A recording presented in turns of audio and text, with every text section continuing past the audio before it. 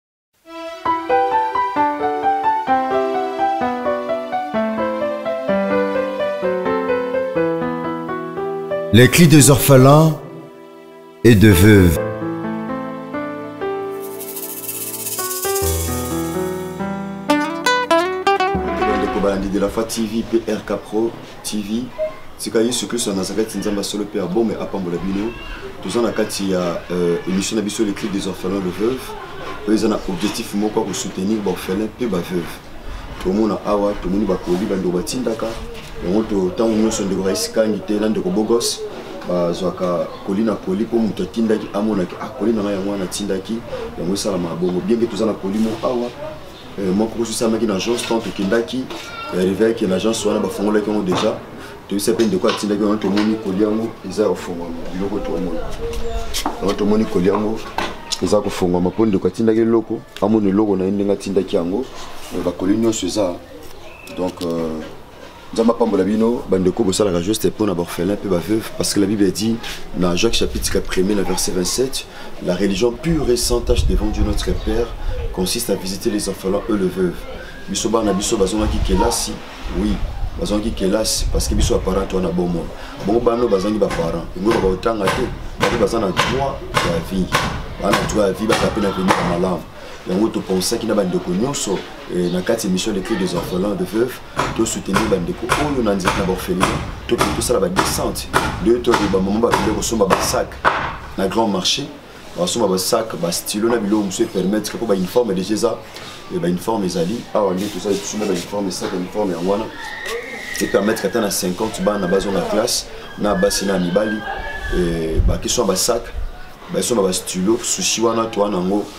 mpo na baorphelin mpe batanga parce que bango mpe bana droit ya vie merci na yo ndeko mwasi mpe mobali oyo ozosala geste mpo na tosoutenir baorphelin mpe baveuve tika yesu kristo ya nazareth nzambe atata na ngai jean paul mayata de la femme mona yo un grand merci na association de la femme en christ oyo etambusami na bandeko baza mikila poto mama odeti nzambe apambola bino mama ani petro euh, bino nyonso na bakambi nyonso nzambe amona bino boza mpenza ebele ma michel epolo mama emerance espérance nzambe amona bino asami ongoli mpe bolamu merci na yo ndeko osimbamaki na motema opesaki 1 euro 1 dollar 100 dollar 200 dollar plus même mpo na tofisite bafoni na bapeuve meme na nzela ndeko bogos anderson na nzela ndeko raisi kangi kolamo na bino asanongoli mpe bolamu merci eh, tolingi topanza biloko topanza yango pourquoi tokokende yango kaka boye topesa bana eza biloko mosusu parfois ezalaka mpena malamu te kopesa epai na bato baofongola yango baomona parfois mosusu eza na malamu mingi te mosusu mpe lokola ewumela na bagence mosusu ebeba yango tozwaka ya malamu toyenda kovisite bana parce que bana mpe baza lokola bana na biso tobokola na bandako sengi balata eloko ya malamu balia mpe eloko ya malamu yango par la grâce de dieu tozobunda nzambe amona yo ndeko osutenaka émission oyo le cri des orphelins et de veuve yesu na sana azali kati amona yo merci na ndeko bogo sanderson ndeko rais kangi bozwa baimage tobanda kopanza na obenga bandeko euh, la trifen tobenga bandeko tobenga se trifen nzo bazola anti boya tofongola biloko te banini eza awa biloko nini tomela kwa bana tokenda bafolina tomona carton bakaye ndeko mwaza na croatie ndapambola ebana na carton bakaye bake bakisa su bacarton mosusu babakisa bacarton mosusu eza ndeko mwaza na croatie nzambe apambolo ndeko nde azolanda biso deja azomona yango nzambe atata na nga jean paul mayatabila famona bino apesa biso nzela na motema na makambo oyo toyebaki yango te toyekoli yango na sa makolo ya tata na biso mayata toyebaki biloko oyo te tonde kosunga na mosika mais par la grâce de dieu tosimba mpena na motema na nzela baacte oyo yango moni toosala yango par la grâce de Dieu avec amour et compassion parce que l'église CFC tobaka likambo amour mpe compassion merci bandeko tofongola bakarton oyo ava tofongola toosambela mpo nango moto mosusu aa na motema eh, ya bolingo me satana akoteli ye eh, atinda eloko no na motema malamu na ye oyo azalaka na yango me satana akoteli ye mpo mwana moko azwa nkokoso na nzela biloko oyo oui bana mosusu mpe parfois babengana bango bafami bafele balia baparent na bango yango toyebisa nzambe bato basali quelque chose babika mpe lipamboli ya nzambe na nsima kosala arte lokola boye tobondeli yesu masiya nazakati nzambe asolo mpe ya bomoi eza na bandeko batindi bapolio mpo bafele basepela bazonga kelasi balata eza mpe na bato batindi mosolo kolotika mosolo epetwama mpe biloko epetwama moto nyonso atindi yango na motema malamu ya bolingo apambwama tata oyo apesi yo na motema malamu te tata akutana kaka na yo tata ofele mpe mobali ya baveve kolo tobondeli yo nzambe ya bomoi tata tika ndeko nyonso oyo aparticipe nkolo na kosoutenir baofele mpe baveuve na toke kobimisa bamaladi na bopito moto ya bongo tata mona ye mona stérile moko tata oyo apesi ata quelque chose mpo na kosoutenir baofele mpe baveuve tata kanisa ata na mwana kolo kanisa kanisa stérile mona asimbi mwana te tata tanto okende hôpital kobimisa bamaladi tata kosoutenir basi oyo tata bakangami na bopito kolokanisa mwasi aza sterile azwa ata mwana na nkombo na yesu kristo ya nazareth tata biloko epela moto epambola baorphelin baorphelin oyo bazwa yango bazala beni na sanctifie biloko oyo epela moto na nkombo na yesu kristo ya nazareth nde tobondeli mpe tolobi amen merci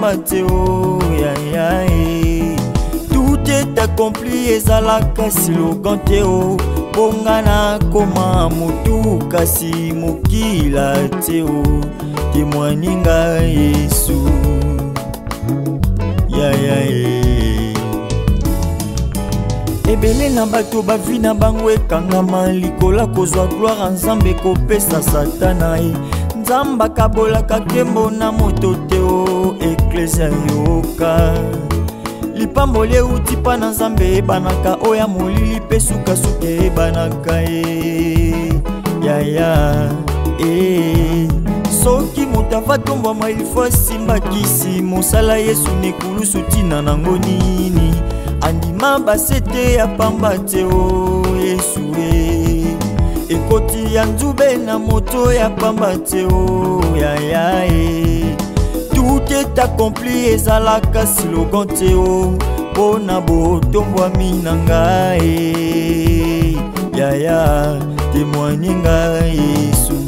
oh, mbote bandeko balandi euh, de la foi tv lkpro tv mpe chiffre 9 tv oyo etambisami na ndeko bobo sanderson na chiffre 9 rk pro tv na ndeko res kangi mpe de la fa tv bandeko mibale bango nde baza bakambi na yango par la grâce de dieu euh, merci na papa na biso jean paul mayata de la foi Merci na association de la foi en Christ. Merci na église CFC, centre évangélique de la foi en Christ. Merci pe na euh, na bana Codef pe association de la foi en Christ. To baki na parole vie to rendre grâce epai na nkolo na kozongisa ata baorphelin kelasi na kotala bamalade na bopito eza bato osi babika na bopito mais possibilité ya kofuta mbo babima eza te yango mosala tosala toyekoli mosala oyo patata na biso mayata toyebaki yango te eh, a toye na orphelina eh, eza centre ya encadrement eh, tomoni responsable aza awa moko baresponsable azali awa toye tokabola oyo nzambe apesaki biso mon frère oyo tindaki par la grâce de dieu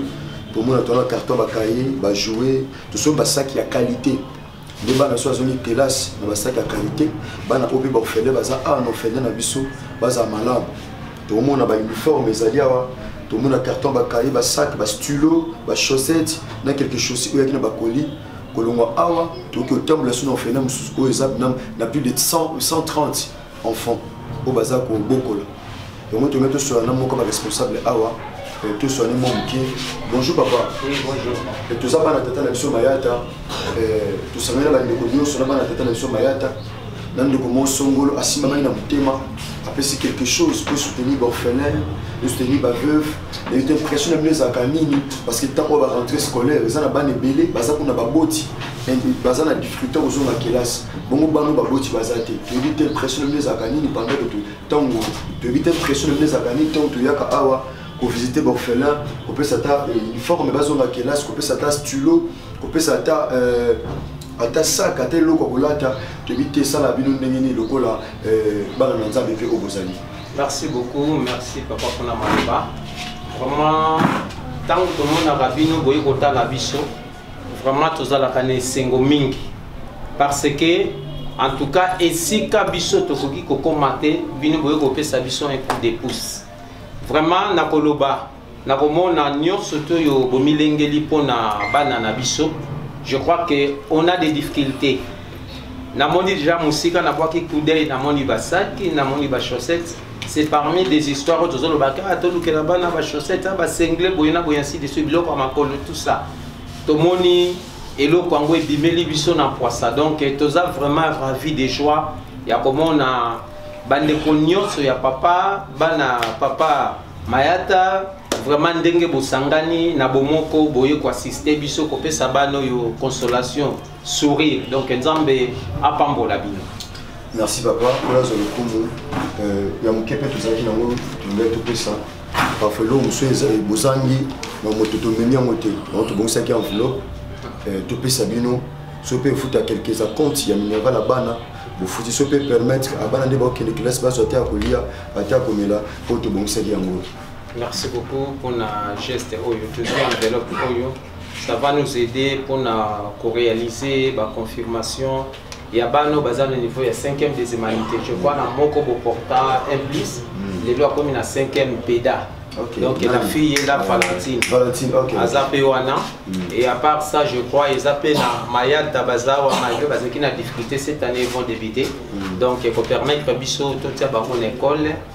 en fait que ba reprendre euh, oyo eza cursus euh, scolaire na bango nzambe apamba merci est ce que toyei koéchange ata na mwana moko te mibale nayebi te bandeko boko sanderson na doris kangi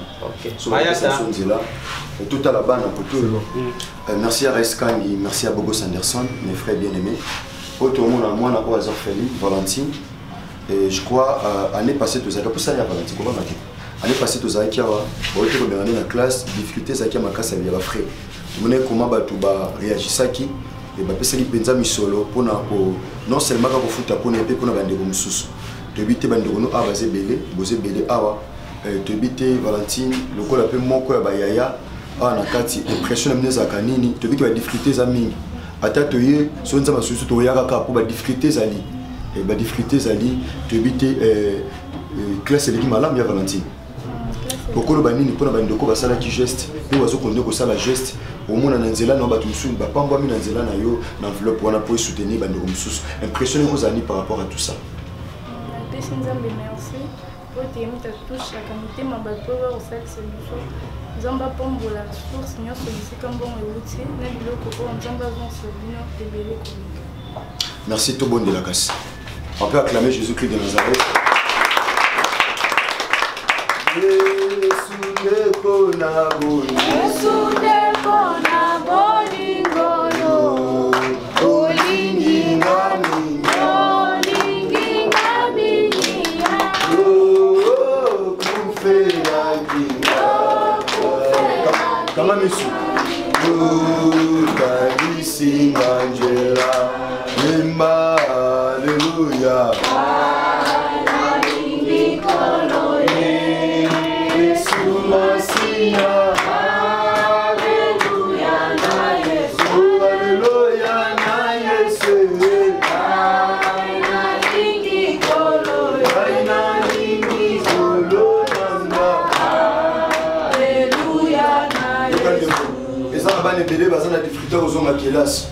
nzambe asali bino ngoli bozwa ata kaye bozwa ata studio bozwa biloko ya kolata bozwa ata saki ya okende na classe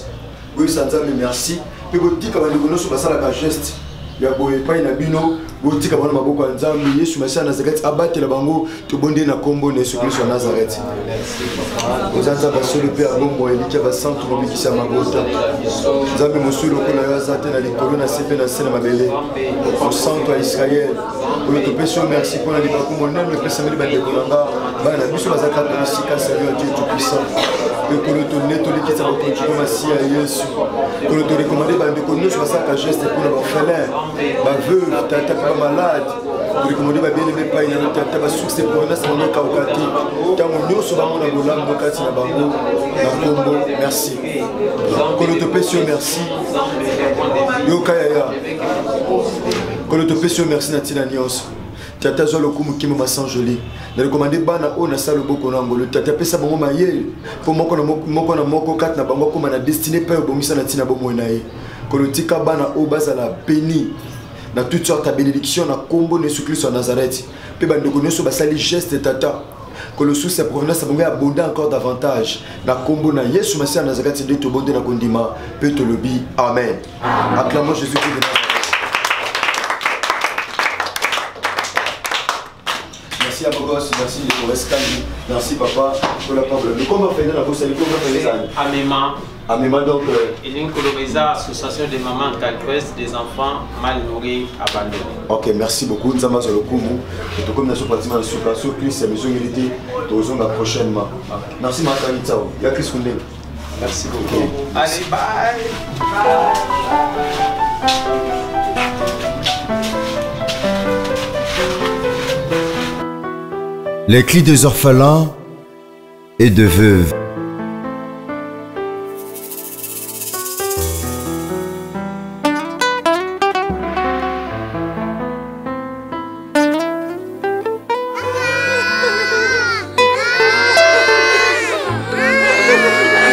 Tu n'affligeras point la veuve ni l'orphelin. Si tu les affliges et qu'ils viennent à moi, j'entends de les cris et ma colère s'enflammera je vous détruirai par l'épée.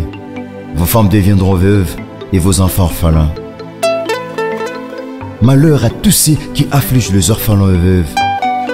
Frères et le pain que vous négligez, l'habit, l'argent des poches que vous donnez aux enfants peut scolariser cinq orphelins négligés. Enfant qui a perdu son père et sa mère, ou l'un d'eux, c'est lui qu'on appelle orphelin. Et femme qui a perdu son mari, c'est celle qu'on appelle veuve. En effet, aucun enfant n'a jamais souhaité la mort de ses parents pour qu'ils soient orphelins. Et aucune femme n'a jamais non plus souhaité la mort de son mari pour qu'elle soit veuve. Car tout peut arriver également à tous. Ainsi va la vie. Souvent quand le parent meurt, tout change inopinément. La destinée s'obscurcit. La vie change d'itinéraire. Tout devient sombre. Et les espoirs s'éteignent. Alors certains orphelins préfèrent mourir que les vivre à cause des souffrances qu'ils endurent. Enfants de douleur et abandonnant leur triste sort, pitié.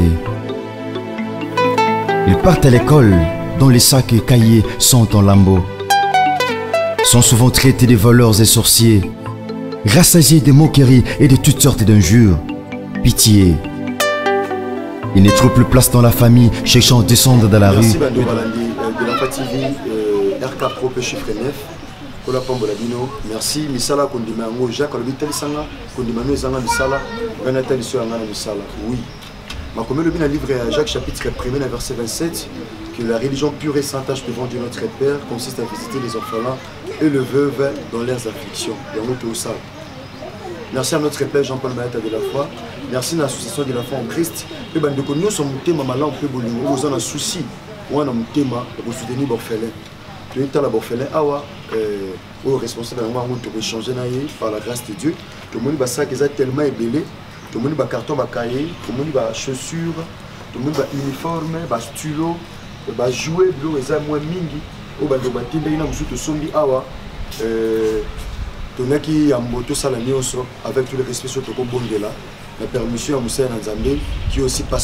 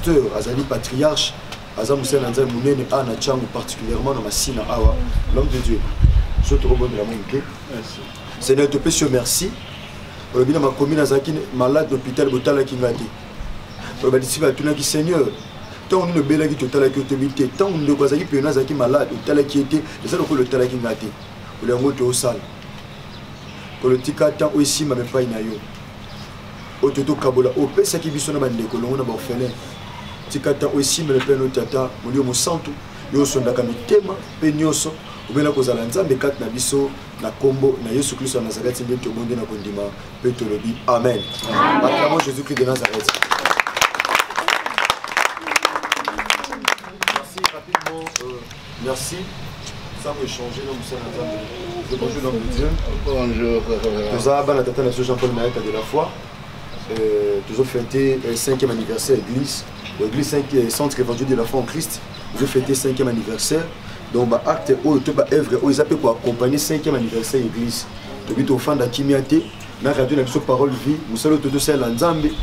tobi te tosangana bandeko tosala quelque chose mpo na baorphelin baveuve na bandeko baza malade na bopito eh, yango tokutana bino awa ah, mosala na nzambe eh,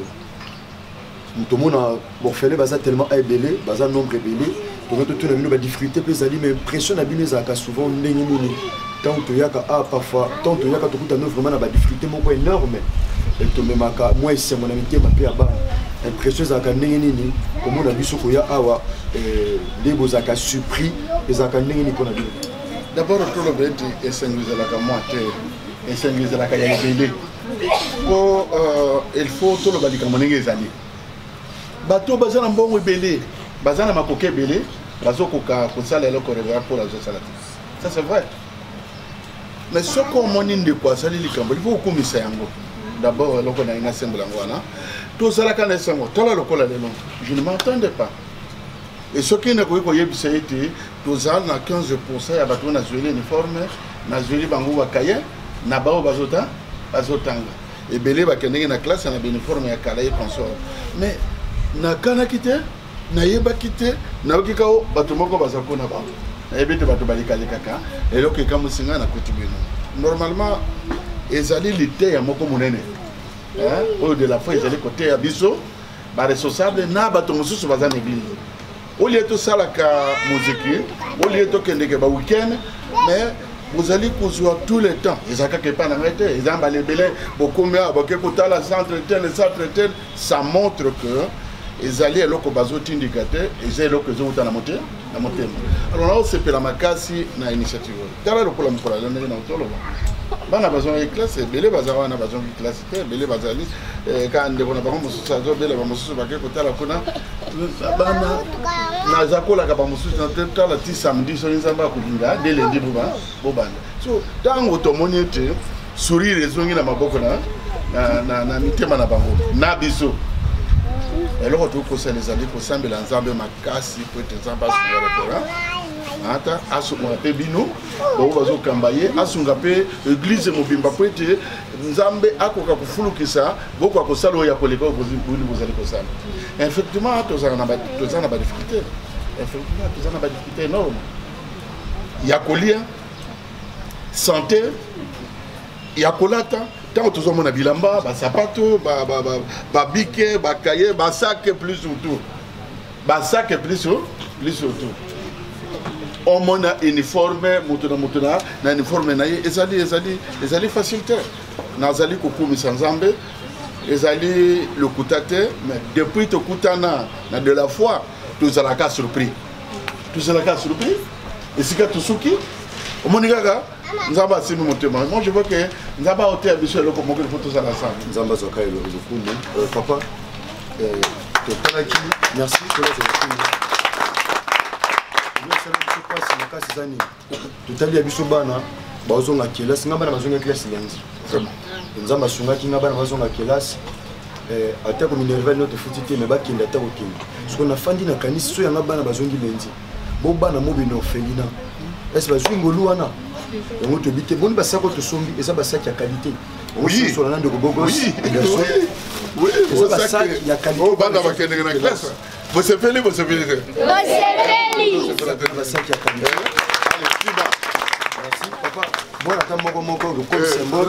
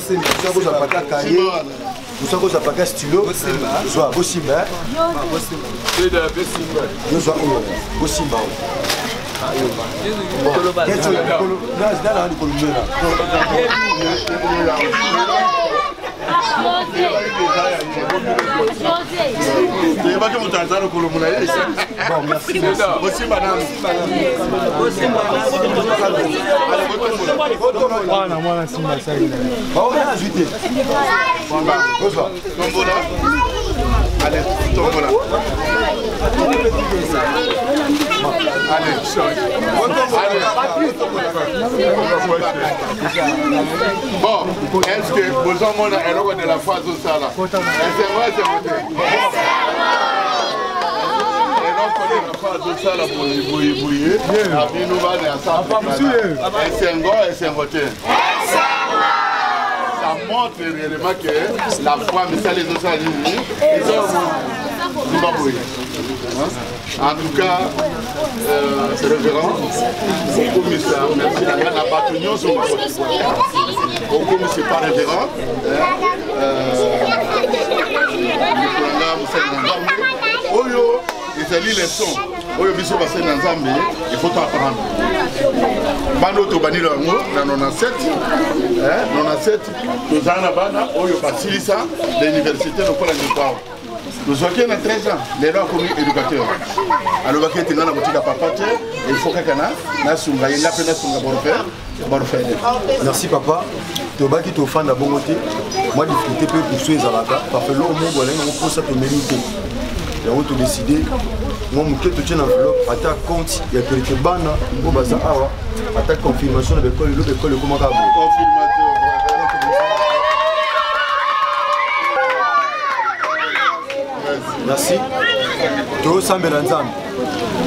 topesa nzambe merci mpe tozotika ndeko nyonso akontribuaki na maboko ya nzambe nzambe apambola misala yaya nayebi koza na esengo mekanga na miso tosambeli simbaka eloko osimbi yesa nzambe merci mpo na lipamboli oyo mpe tika na maboko ya nzambe ndeko nyonso atiaki quelque chose asimbami na motema mpo na kopambola bino borphelin tosambela mpo na bango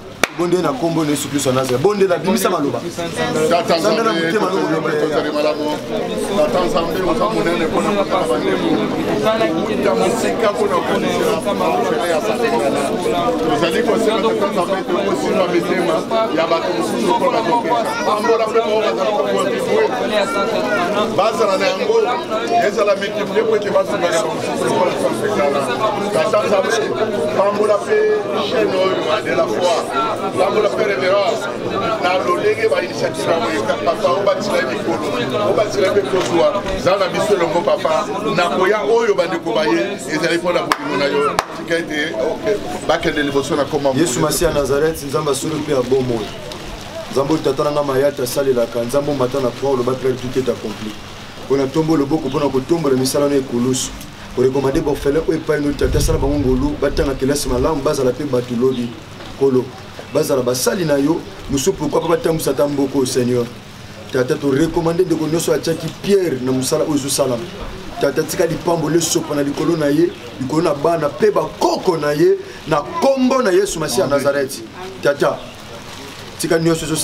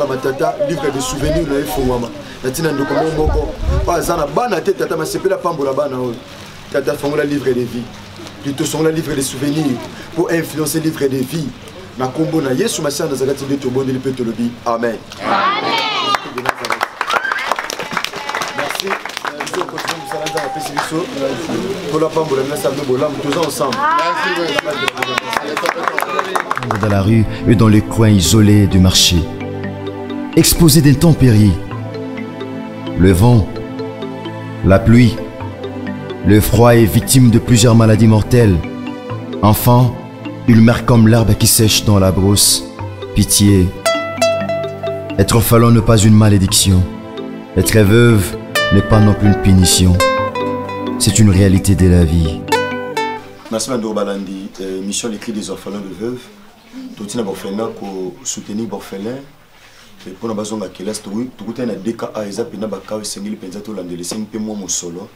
puis na suite oso tokutia esali biso tellement mpasi elafali kaka to intervenir nao na dka oyo ya mboto kenda kotala bakao mosusu mbote ya mwasi komono nani yaya charmante oza na hôpital depuis combien de temps osali mikolo boni un mois mm. donc un mois wana ezalaki mpo mwana abikaki nanu te to mwana abikaki ozangi makoki ya kofuta hôpital donc mwana abikaki na temps nini mpo fandi ya combien de temps mpo mwana abikaki parfois na une semaine trois semaines nyonso etikali donc ozanga makoki eh. Eh, nini esalaki ke ozanga makoki mpo mwana abima na hôpital mpo naza na mosuni te bo mobali na yo papa na mwana bakanga ya za na prison makala bakanga na prison makala mm. asali combien de temps une année donc donc ngengol ba mwana na âge ni six mois donc nde asali une année seka tikaki yo na zemi eh, c'est ma quatre mois bakangaki ye na problème nini abanda osala na maison abosani kokanga nda bakamara na maison ya batekani Ba mafuta. Mafuta nini?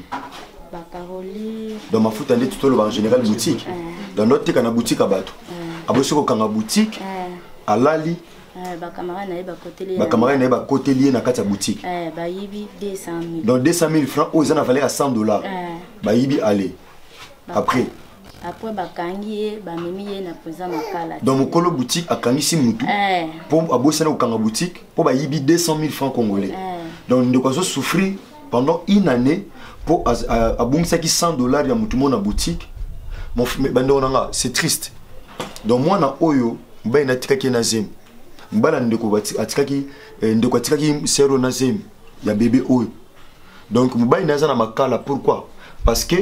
abosani kokanga boutique akoteka na boutique eza mpasi ngai ndeko na bino nateka na boutique ezala parfois oza olembi na pongi parfois baclient bazoya te parfois nimbi donc ndeko abosani kokanga porte malamu bamiyibi bakoti bayibi 200 000 francs oyo eza na valeur ya 100 dollars donc talaki motema mabe andimi ndeko ne mobalaki kosouffrir maa na mwasi na bana koyaka na mwana moko donc asepeli mwasi oyo anyokwama mpo na 100 dollar akangisi moto taki motu ya mabe donc mobali na ye ana prison donc asali un mois awa parce que azangaki makoki yango ndeko oyo tyaka maboko na baaktivité lokola boye yesu asali nazalaki te ozanga te okanisa yo nkombo nani yaya ndeko charmante ndeko shako mosusu nini namona awa bikiri na ma, mabomba mabomba nani abiriki ye nde mwana ah. donc tofuti facture nyonso donc mbongo nyonso oza ata na infran te ofuta moni papier oyo mm. ovanda wapi kaka kote oyo mm. eh, osala mosani osala ebongo na vandei te fo luka otekaka eloko parce que moto ya moko songo olie olie suka sikoyo ti wapi est ce que soki apesi omo eloko ya moke okobanda oteka ndeti eloko nde okoki oteka malamu ndeti combien fo ozala nango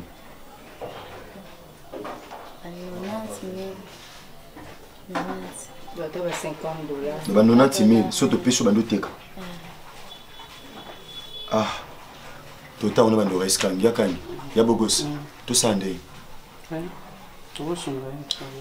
zela tozonga mpana oyo ozobima towana mbongo mona toyoki tala basi oyo bauti obota mai eh, lokola tokuti yo na problème tosongo na oyo tokoka nango obandi kote kopesi biso adresse na yo na suka soki nzambe asungi biso toluka yo topambolo mpo bokola mwana malamu eh, ya mwasi me toluka quelque chose topeswa toke epa ndeko mwasi kuna grande soeur bonjour ça va euh, ah osali combien de temps na hôpital donc bango bakutaki yo ah, ezali problème nini ya santé mwana nde abandaki kotumisa yango tokaki na hôpital hmm. bayebi sikoyo nini esaliki bosala deux mois na hôpital po mbongo eza te babisi ngai bokoti ame banyonga bakisi tosa na hôpital tosa na centre donc deux mois na nyonso bakisi baodefa na mbongo ya mbetu tosa euh, bo mama mwana aza mama mwana akima akima asundola charge bo papa na ye papa na kufa na mona donc mwana aza orpheline eh. ah ndeko ta mosala bosala tala difrano yango mwasi moko oza na mwana te naodeklare na kombo naodeklare na kombo na yesu masiya nazareth nzambe apeso mwana kaka na acte lokola me mwana aza orpheline mama nalingaka teke mpo na pasi eleki mwana te ndenge abokola mwana yaya mwasi mpo na kokende banzela ebele te eh? omoni papier otopesi ye ne maboma mabomba tofuti mbongo nyonso na nyonga bakisi nyonso bozalaki na hôpital na mbongo nyonso donc lelo bobima bozala kaka uti mokali kuna na kini na kota ngasani bokenda moyeni bokenda moyeni futi kaka transport awa loka tofuti nyonso mbongo oyo bango mama kenda obunda na yango mama kulu mama notenda oluka mbongo mpo ofuta no aobunda na mbongo mpe eza te abunda bozwa motuka bokende mwana akende na ndako eyaya nzambe apa abatela bino facture yango boke kozwa boobima siko boolongwa eh, na bandeko nyonso bandeko bokosi toza na bandeko rais kangi eh, na motema oyo toza nango eh, tomoni kobokola mwana eza mpasi maboko pamba boye mosusu to awana mobali pene mazonyokwa boyo mwasi eh, mwa moki oyo tobongisi en tout cas mbongo olobi topesa yo 90 000 francs ya moki oyo toa nango biso mpe 80 000 francs eza a ntango obimi hôpital luka kolia mbongo oyo te yaya bosambela mpo na yango nzambe apambola yo eza mbongo oyo mituki na biso na bato basutenaka biso lokola basali na nzambe so olie yango lobi oza su na mposa osunga mwana alors ke obanda osenga obanda osenga te luka eloko ata mesa moke tya biso tozwa adresse na yo na bandeko toza awa euh, tobunda mpo toya tosunga yo mpo mwana oyo azala malamu mpo papa so abimi euh, akuta ata na sante malamu na mwana eh, ya mwasi mpo ya moke tobongisi toyebaki te mai oyo tobongisi yango oyo nzambe asunga biso eh, nde nzambe akosunga toye basusu koya kobongisa mosusu eh, nzambe apambola ndo charmante yesu masana azaka tobondeli mpo na mbongo tata tosanctifia na makila na yo père so eza na bato babanda na si bamata likolo na bacommerce tika mbongo lokola ewuti na motema tata posa motema na bandeko na ngai toza na bango ya nkolo tika ndeko abika lipamboli na koteka ata mai ata manga ata savon ata piste mpe tomate ya bwati bakata tata mona ndeko azala beni na nsima ya mosolo oyo na nkombo na yesu kristo ya nazareth amen merci kola nkombo na biso merci il pleure ses enfants le maire de fond sans habit et sans abri sans affection parentale bonjour docteur bonjour eh, ah toza na centre de santé maternité tozolana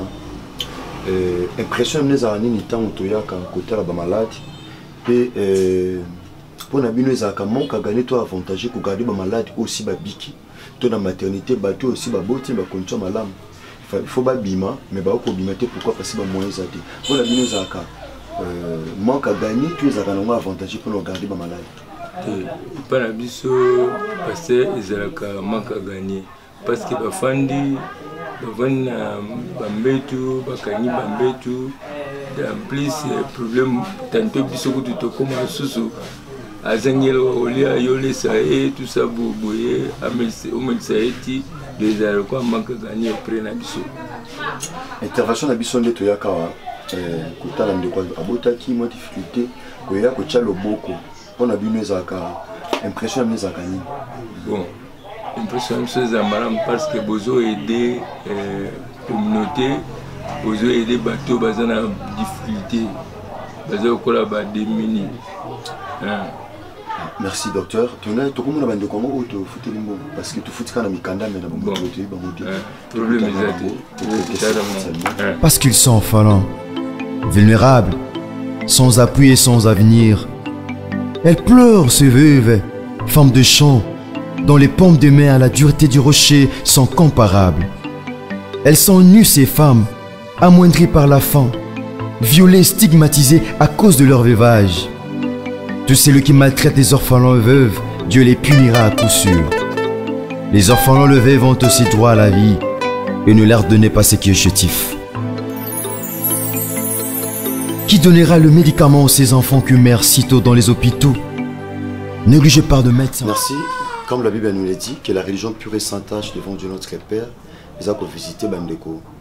oyo baza na mpasi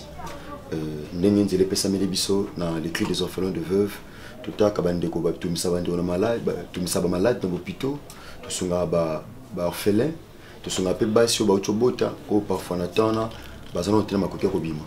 yango tokuta na ndeko mafuta na ndeko kabeya oya ndeko mafuta ndeko mafuta ndeko kabeya eh, tosoli na docteur tofuti bambongo nyonso mpo na bino donc bokobima na bino ata lelo toti mpe na hopitau mosusu to totambola tobaluki baluki toyebi te toya mpe awa totala bandeko basi me ndeko toomona yango obe mobali nakufaki yo va mwana akufi donc mwana aza lokola orphelin eh, mwana aza lokola orphelin donc mwana oyo tobimisi se un orphelin tomona baka oyo ekomi tellement trop bajeune bakomi okufa mwa mingi yango biso bilenge toyeba ndenge otambwisa vie na biso totambola na kobanga nzambe tosimba liloba ya nzambe mpe togarde foi tosala sorte ke tobika vie molai ndeti mwana boye aboti me mwana oyebi tata na ye te nzambe asala grâce lelo tomona nde mwana sœur eh, baproblème ezalaki ebele na kokoso na basanté mais nzambe asali grâce je crois farti bozobima déjà tosokisa na docteur tofuti mbongo nyonso bapapier yango oyo na remettre papa docteur donc euh, merci papa dersi papa kode biso mesure de grâce nde fartire ezalaki akiti biso mpe mwa moke yango par la grâce ya tobi mda coup de chapeau oyo eza bacentre na biso ya kala basona mpena kitoko toyebi yango malamu centre de santé maternité tozolana merci papa dersi merci na bapartenaire nyonso bandeko nyonso tika nkola pambola bino merci ndeko bogos ndeko na ngai raiskani kola sandokola merci bandeko na nkola batela bino merci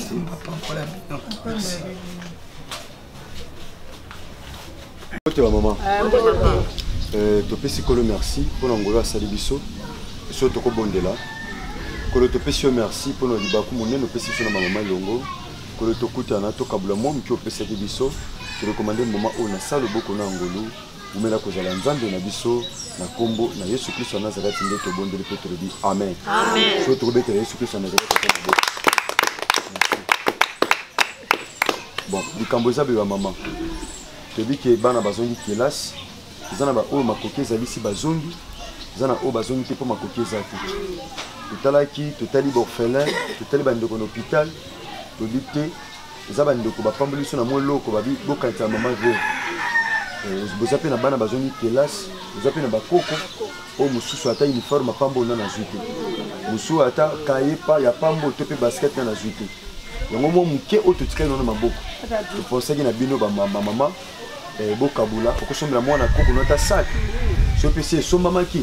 osombela ata kafo meli otyelango ata basa makala na, na coin ozobunda eza mama basalaka kwanga awa eza mama babundanaka awa ndeti mama jane mama jina atekaka mapa eh, toza mpe na oui mama mpe atekaka mapa mama mpe aza asala ambika mama aza asala kwanga mama akwanga mama mpe kuna abundanaka tomona do bamama baza mpenza babundanaka yango mwa moke oyo toza na yango esika obundaka na cope mm. mama otyeka mo moki wana obakisi eh, yango ndeko nyonso osalaka geste mpo na bamama lokola oyo nzambe amona yo nzambe amona yo mama eh, ndeko na ngai mwasi mpe ya mobali osutenaka émission les cris des orphelins de veuve mm. yesu masana azekati amona yo eh, sans plus tarder tokosenga ndeko rigen merci ma carine mama oyo eza elembo bandeko batindaki tobi ah mama azwa te eloko moko obakisa ta na commerce esika osala soki mpe mwana no azongi classe te ata uniforme apamba osombela mwana mpo azonga kelasi eh, donc euh, nyonso eza eza noka montant moko eh, nyonso eza eza montant moko basusu bazwi ya kovimba basusu eza ya moke koka eh, donc donc nyonso eza kaka ndenge moko nyonso eza ndenge moko bamani bale namoni bango te baza nzambe ba mama veste bake we wana donc oyo sikoyo topesa bandi origene topesa bandi origene so baye bamana mibale nde origene bayemoki nde olukano bavive wana oyo bavilope opesa bango opesa bango baso baye mama eh, so tokosambela mpona bandeko basalaka geste nalingi motema bolingo oza nango soki bosambeli malamu na mitema bolingo wana nzambe akopambola bandeko mikolo ekoya lisusu bakosimbama na mitema mpo basala bino bolamu soki tokosambela epai na nzambe zwaka enveloppe notombola yebisa nzambe amona bandeko oyo oyo basoutenir baorphelin bato bamalade na bino baveuve nzambe akausa maboko na bango te nzambe apambola bango tosambeli na kombo na yesu kristo ya nazaretzambe ya israel tata nazolibeta mama bapambwami na lingomba oyo tata na nzela bazali partout travers le monde entier etika mbongo oyo epela moto koloba ndeko basali quelque chose babika bolamu na kati na bomona bango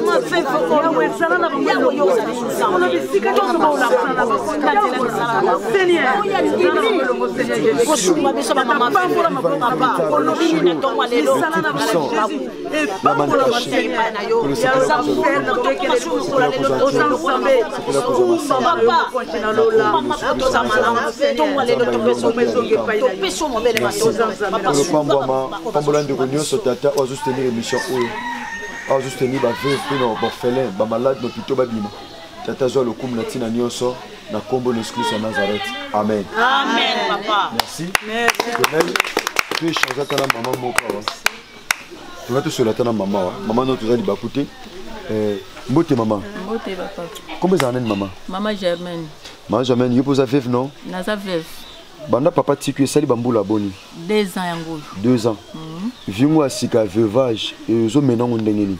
apana tekaka kwanga na nzela ya kwanga yango moto ezobokola bana bongo lopango papa tika eza wapi papa atiki biso na lopango te tofutela donc nde oza bofutela kwanga nosango na lopango ofutela eh. estce complika yo te pa mokolo lopango koloba ah, ngai lopango nalinga basalite te nalinga bamoto ya koni te nalinga te basala kwanga parce que kwanga na kotala boye ezalaka ndeti mosala moko ya mpasi mpe ya mwa bosoto mhm. mm. eza bongo kolo lupango ya komplikaka te mais ndako eza moke makasi en tout cas ezosenga nalonga so wana naluka ndako ata ya salon chambre ya mwa monene ofuta na studio nafuta ya salon chambre mais eza moke makasi moke makasi mpenza ezopermettre te na misala oza na frein ya combien de olamba kwango naza na nakoloba 40 000 hein? donc fond na yo mama ateka kwanga fond na ye ya bogos mm. ya rais mama nde asala kwanga mama charlotte germain. mama germain nde asala kwanga fond na ye 40 000 fa donc 20 dollars mpo na obokola bana combien bana si baliaka na kwanga wana ah, bandeko c'est triste ah, donc bamama nde ozomona baokemba bamama oyo